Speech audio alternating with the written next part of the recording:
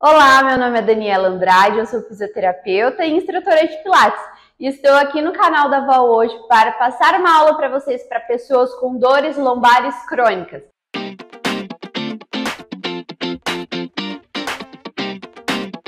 Eu vou usar o Reformer aqui é, nessa aula de Pilates, mas você pode adaptar todos esses exercícios dentro da sua casa, beleza?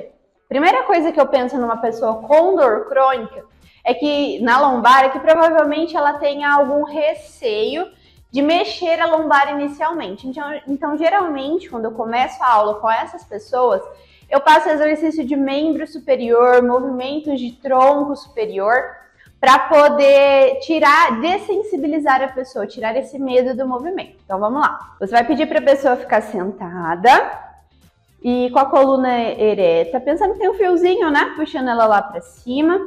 Se talvez essa posição de, de, de extensão da lombar, de jogar o quadril, incomodar, pode apenas pedir para ela relaxar, tá? Mas pense em manter pelo menos o alinhamento do corpo. Então eu começo pedindo para a pessoa estender os braços e retornar. E com isso ela já ir respirando, aumentando o seu fluxo respiratório. Eu não peço inicialmente é, para coordenar, sincronizar a respiração, tá? Alguns exercícios pode ser que isso seja mais específico. Então, vai pedindo para a pessoa inspirar, expirar, fazendo elevação dos braços, elevação frontal. Beleza? Com isso, peça para ela parar aqui e nós vamos começar agora a arredondar nossa coluna para frente. Então, alcança lá para frente retorne endireitando. Repara que esse movimento está acontecendo apenas na minha torácica. Então é mais pedir para abaixar a cabeça e arredondar o tórax do que pedir para a coluna e para frente em si. Quatro e cinco. Muito bem. Beleza. Agora, vira uma palma da mão para outra Inspira fundo para iniciar o movimento, solta o ar e nós vamos trabalhar a rotação. Pede para a pessoa abrir bem o braço lá para trás, mas girar o peito também, porque às vezes a gente faz isso aqui, ó, vai mais com o braço do que com o peito, tá? E é interessante já começar a mobilizar todo o segmento da cervical também. Então olha para o polegar, um comando que eu gosto de dar aqui, ó, pensa que tem alguém puxando você pelas mãos. Então a mão que ficou na frente sendo puxada e a de trás também.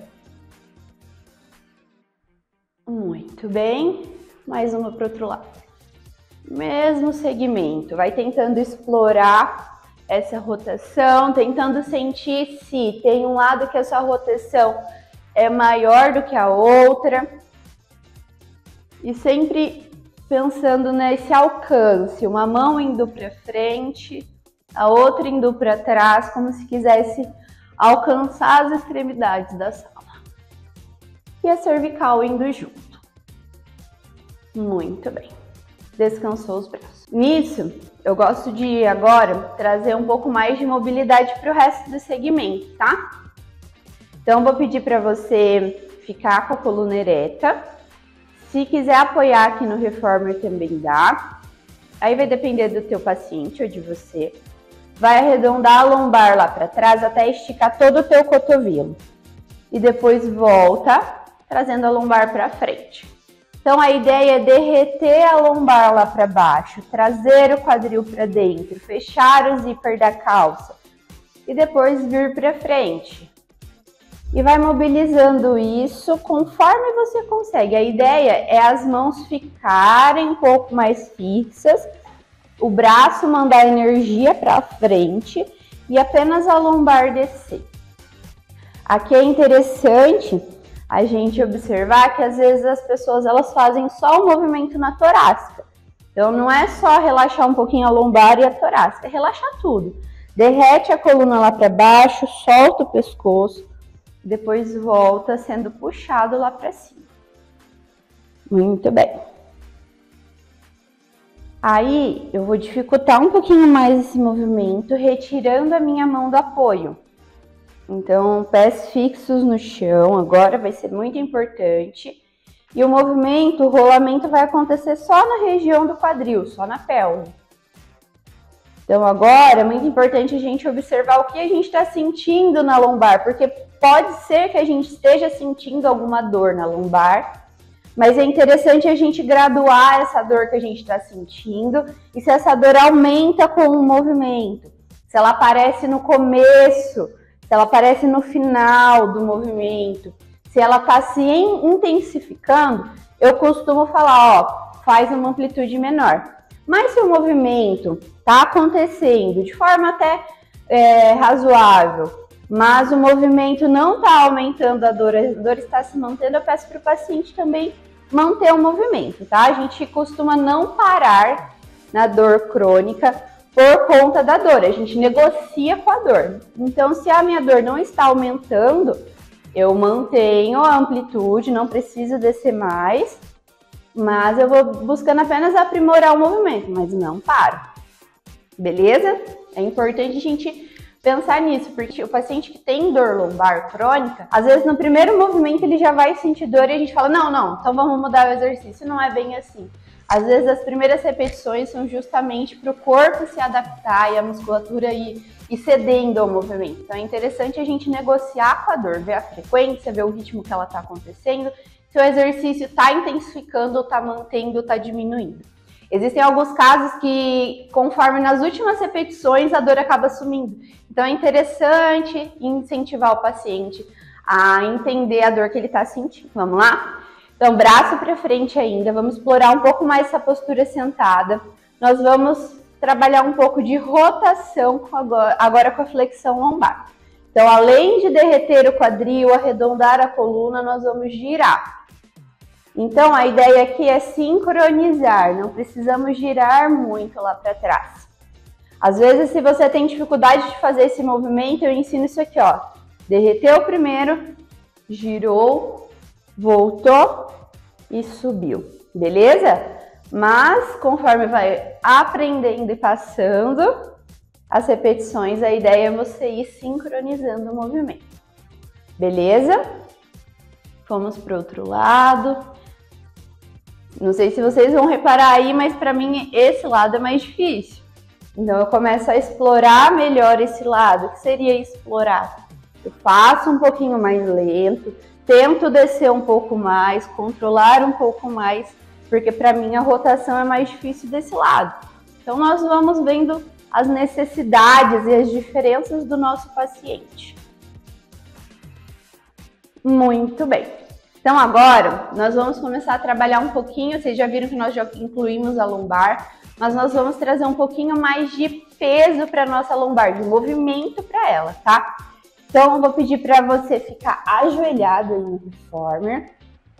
Se você não está fazendo esses exercícios em casa, você pode ajoelhar no chão, coloca uma almofadinha, um local que seja mais fofinho para os seus joelhos, tá?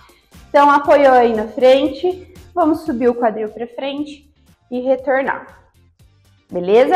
A ideia é pedir para o paciente levar o quadril para trás e o quadril para frente, para mobilizar bem essa região da pelve, tá? Então, empinando o bumbum lá para trás, estendendo a lombar e depois trazendo, tá? Se o paciente sentir muita dor e muito incômodo, pode pedir um pouco de flexão. Então, vamos lá. Dobra os cotovelos, flexiona retorna. Às vezes, quando a gente trabalha com pessoas com dor crônica, é interessante a gente desviar o olhar delas da dor lombar, porque aqui nós estamos falando a aula é para a dor lombar. Então desvia o olhar da dor lombar e coloca em outro lugar. Então, ao invés de você falar, ó, vamos estender a lombar, vamos abaixar o bumbum, fala, ó, nós vamos dobrar o tronco para frente, dobrar o tronco para trás. E a pessoa com isso consegue explorar muitas vezes um pouco melhor o movimento. Então, ó, dobra a coluna para frente, mas tenta um pouquinho para trás. Então, são adaptações que nós conseguimos fazer. Beleza? Para aqui nessa posição. Agora nós vamos estender os nossos cotovelos enquanto fazemos esse movimento. A ideia aqui na mão é mandar energia lá para frente na mão. E depois trazer o quadril para frente, freando o carrinho empurrou para trás, esticou o cotovelo e retorna, controlando a volta, tá? Então, força no braço, alonga a lombar, depois volta trazendo o quadril para frente e buscando alinhamento no final. Aqui, novamente, é interessante a gente olhar a amplitude do paciente. Eu sou uma pessoa móvel, né? Mas que não está com dor lombar, mas o paciente pode se sentir muitas vezes incomodado com algum movimento, principalmente no início, e você pode adaptar a amplitude. Então, pedir para o paciente começar de pouquinho, flexionando a coluna, depois pedir um movimento mais amplo, mais completo. Ok? Agora, nós vamos trabalhar um pouquinho com rotações, tá? As rotações, elas são muito importantes na dor lombar. É um dos movimentos que a gente acaba perdendo, né? Então, ó, nós vamos fazer o mesmo movimento aqui. Pede para o seu paciente tirar um braço, rodar a coluna por baixo e retornar. Nesses movimentos que são duplos, vamos chamar assim, nós temos que estabilizar de alguma forma para fazer o movimento de mobilidade de outro lugar. Então, por exemplo, aqui eu tenho que estabilizar minha coluna e estender estabilizar isso aqui para poder acontecer a rotação, eu às vezes ensino, dependendo do paciente, às vezes o paciente tem mais dificuldade de entender, um idoso talvez, ou alguém que não tenha tanta percepção corporal mesmo, é ensinar primeiro um movimento e depois o outro, e depois pedir para sincronizar, igual eu falei para vocês agora há pouco. Então vamos lá. Então, ó, eu peço primeiro a extensão da coluna, dos ombros aqui, ó, a flexão dos meus ombros empurrando. Peço para empurrar um pouquinho o carrinho para trás, para dar espaço aqui, ó. E no final eu peço para a pessoa fazer a rotação. Aí eu peço para a pessoa voltar a mão lá e voltar ao tronco. Então pedi um movimento separado, ó. Empurrou o carrinho, abaixou a lombar, não deixa agora a perna vir aqui por baixo, ó, dá uma empurrada para trás, desci. Fiz a rotação, voltei a minha mão e trouxe o carrinho para frente. Beleza? Dá pra gente pedir intercalando também, ó. Então, empurrei, girei para outro lado, voltei minha mão. Girei para o outro, voltei minha mão, voltei o tronco para frente. São opções que a gente pode usar para intensificar o movimento. Girei, apoiei a mão na barra, girei, apoiei a mão na barra e retornei. Se ficar muito difícil, para o paciente executar esse movimento com a resistência da mola, só pedir em quatro apoios. Então, pede para o paciente ficar em quatro apoios aí, ó. Se sentiu dor ou dificuldade, né? Só adaptar o exercício, ó. Então, pede, ó, rotação e retorna. Roda por dentro, costura por baixo e retorna. Pede para a pessoa ó, relaxar as costas, fazer a rotação e retornar. Aqui é interessante a gente pensar também, pessoal, na posição da lombar. As pessoas às vezes têm uma lombar muito rígida, né? Quando tem dor na lombar, uma tendência. Então, pedir para a pessoa fazer isso, pode pedir para ela ir com o quadril para o lado contrário, né? Então, ensinar a pessoa a estabilizar o quadril no local, né? E pedir a rotação. Beleza? Agora, você pode pedir para o seu paciente se sentar. Nós vamos trabalhar um pouquinho mais intensos agora, alguns exercícios mais avançados, tá? Então, vou pedir para você arredondar a sua lombar lá para trás, voltar para frente. Repara que o princípio é o mesmo dos exercícios anteriores, trazer mobilidade para a lombar, mas agora vai exigir um pouco de mobilidade no quadril também. Se você tem um pouco de dificuldade de ficar nessa posição, pode colocar a box, a caixa box aqui, pode sentar com as pernas para fora para fazer esse movimento. Em casa dá para fazer numa cadeira também.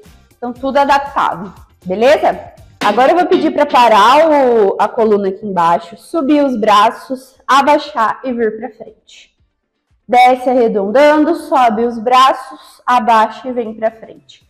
Repara o que acontece no meu abdômen aqui, ó e retorno. Então eu trago um pouquinho mais de carga, de sustentação para minha lombar numa posição de flexão. Então minha lombar tem que estabilizar. O que acontece com muitos pacientes é que eles fazem isso aqui, ó, na hora de subir o braço, tá? Então é interessante nessa hora é, pedir para o paciente não descer tanto. Então, descer um pouquinho, sobe e volta, porque a ideia é trazer estabilização, ó. Se eu vier mais, ó, vou mostrar para vocês, aqui não é o meu limite, ó. Ó como já, meu pé já vem, eu já não consigo estabilizar. Então, achar esse limite do paciente aí. Beleza? Trazendo o mesmo movimento para nós de novo, de rotação. Endireitou as costas, desce a coluna, arredondou e sobe o tronco. Aqui a gente pode usar, por exemplo, um bastão, um cabo de vassoura, um Magic Circle para trabalhar melhor essa rotação, uma bola, uma toning ball, para deixar o movimento um pouquinho mais intenso. Tudo vai depender do que o teu paciente conseguir aí, beleza? Pede para ele colocar as mãos para trás, coloque as mãos para trás. Nós vamos trabalhar o mesmo movimento numa posição agora é, priorizando a extensão, tá bom? Então, coloquei as mãos de apoio aqui, quebra um pouquinho essa extensão do cotovelo.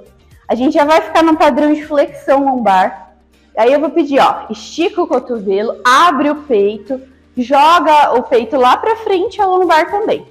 Relaxa dobrando os cotovelos, trazendo a lombar para dentro. Então, o um movimento para a gente trazer um pouquinho de alívio, pelo menos tem apoio atrás, né? Então, nós vamos trabalhar a extensão, porque já já a gente vai usar esse movimento. A gente está trabalhando mais em flexão até agora, vamos priorizar a extensão.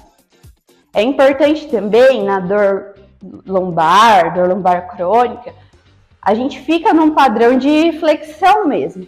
Então eu gosto de trabalhar o final das minhas aulas voltando o paciente para a extensão, justamente para ele ir para casa com esse com essa lembrança, com esse reflexo, sabe? Então eu terminei a aula em extensão. Beleza? Se tiver tudo bem para o seu paciente, nós vamos trabalhar a extensão de quadril agora. E retorna. Tudo bem? Importante pedir para estabilizar bem os punhos aqui. E na hora que for subindo o quadril, mandar o joelho para frente, ó. Porque se eu mando para trás, vai ficar muita tensão nos meus punhos. E a gente não gosta disso, né? Então vamos lá. Respira fundo. Sobe o quadril, manda o quadril lá para frente, abre o peito e retorna para trás. Então repara que o movimento que eu trouxe antes, ó, de extensão e flexão, ele faz parte agora do exercício, tá? Então eu abro o meu peito, contraio os meus glúteos, alinho minha coluna, não caio a cabeça como alguns pacientes fazem, tá? E retorno. Abre o peito, estende o quadril, joga a coluna lá para cima, empurra o chão com as mãos e com os pés. Só mais uma vez, empurrando o quadril, alinhando o tronco jogando a cabeça para trás. Muito bem. Relaxa os punhos.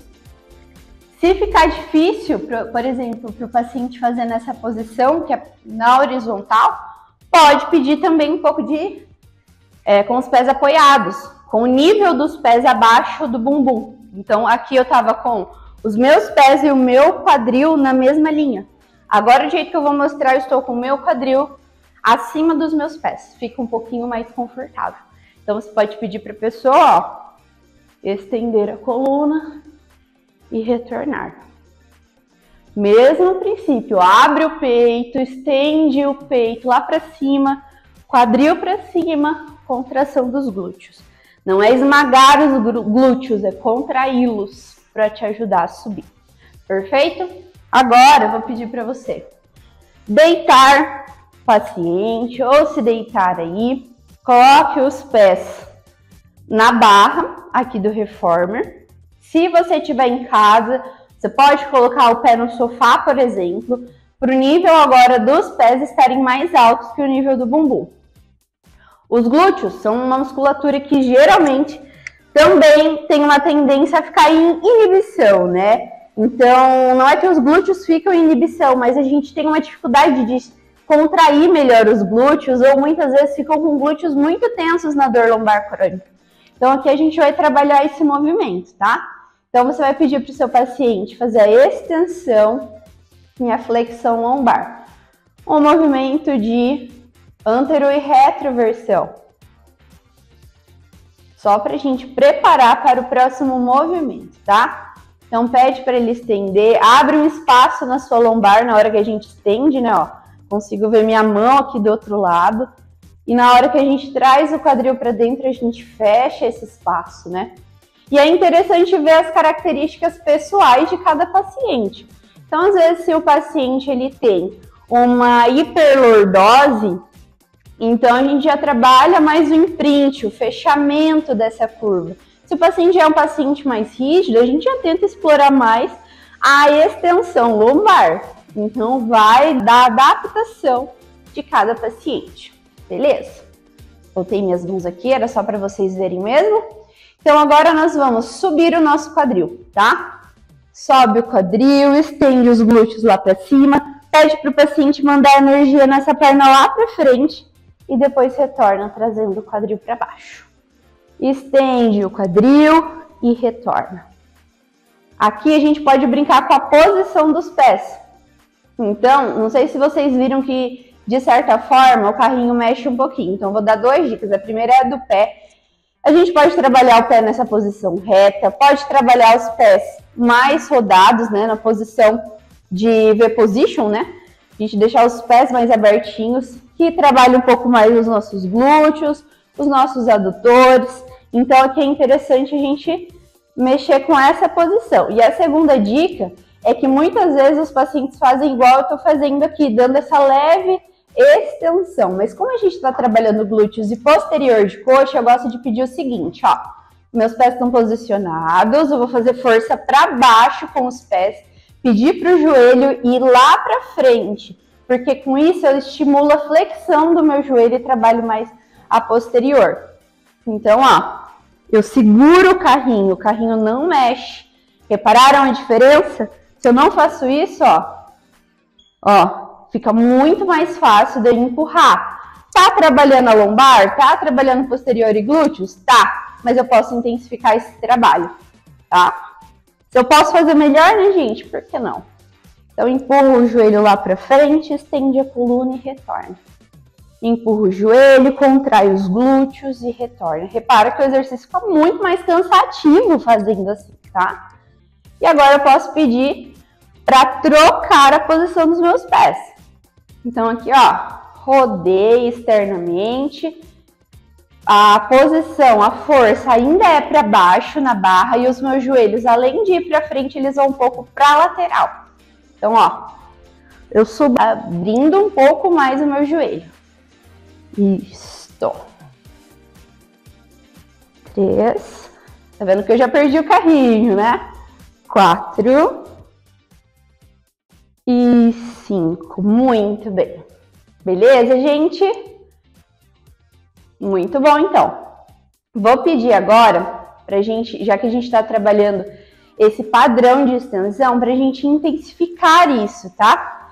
Então, pede para o seu paciente pôr os pés na barra, empurrar a barra, esticar o joelho, descer a coluna e voltar o joelho. Então, ensinando o movimento separadinho. Sobe, estende os joelhos, desce a lombar, flexiona os joelhos. Subiu, força nos glúteos, vai esticando, estendendo os joelhos, apoia a lombar e retorna o carrinho. Aí você pode pedir a sincronização, né? Estendeu, retornou, estendeu, retornou. Estendeu para trabalhar um pouco mais a mobilidade, para não ficar um movimento tão rígido. E pode pedir o um movimento ao contrário também, que vai trabalhar um pouco mais a força de glúteos e de flexores de joelho. Muito bem, a última vez, estende. E aqui a ideia é terminar, ó, com o glúteo lá em cima, o bumbum lá em cima. Muito bem? Pede para esse paciente ficar deitado agora na lateral, tá? Esse exercício eu gosto de finalizar a aula com ele, porque ele relaxa bem as nossas costas, tá? Então, aqui eu vou pedir. Você pode fazer no chão também, pode fazer na cama quando acordar, pode passar para o seu paciente como orientação para ele fazer em casa. Então, uma posição de decúbito lateral. Então, pede para o seu paciente deitado de lado, puxa as pernas, busca o alinhamento do tronco, esticou a mão para frente, vai esticar para lá. Mantive meu corpo na lateral. Interessante buscar o alinhamento, porque às vezes os pacientes eles ficam assim, ó quando deitam de lado, tá? Então busca essa extensão do tórax aqui. Braço para frente. Pode colocar uma toning ball, uma bola aqui. Pedir para a pessoa o rolo, né? Deslizar lá para frente e retornar da rotação. Roda a coluna lá para frente e retorna da rotação. A cabeça tá bem soltinha aqui embaixo, então meu rosto ele fica voltado para baixo mesmo. Talvez dê até algum barulhinho aí no microfone, porque eu vou bater aqui embaixo e retorna. Então você já acaba trabalhando um relaxamento da lombar, uma rotação dessa parte torácica e o quadril do seu paciente está fixo. Então, às vezes os pacientes vêm para frente, mas fazem isso aqui com o joelho, eles deslizam o joelho para frente. Então você pede para ele manter o quadril aqui. Pode inclusive iniciar ó, só fazendo com o ombro. A mão fica para trás segurando o, o quadril e retorna. Se você vê que o paciente ganhou essa percepção de manter o quadril apoiado, pede com a mão, ó. Roda o tronco e retorna. Beleza, gente? Então foi uma aula simples, básica, mas que já deu, né, pela minha ofegância, perceber que cansa aí, tá? É, eu fiz aqui poucas repetições, 5 a 8 repetições de cada movimento. Então, você pode explorar o que o seu paciente está conseguindo, ver os movimentos que ele tem mais limitação, trabalhar um pouco menos se o paciente acabar intensificando a dor. Então, a ideia do fisioterapeuta, o trabalho do fisioterapeuta, na verdade, ele poder gerenciar esses exercícios e manejar a dor do paciente de acordo com a necessidade que ele está ali, tá bom? Então espero que vocês tenham gostado dessa aula e dessas adaptações que eu passei para vocês. Convido vocês a seguir o nosso canal, comentar o que vocês mais gostaram dessa aula, curtir e encaminhar esse vídeo para alguém que você sabe que está muito tempo com dor nas costas, hein? Espero que vocês tenham gostado e até a próxima. Tchau, tchau!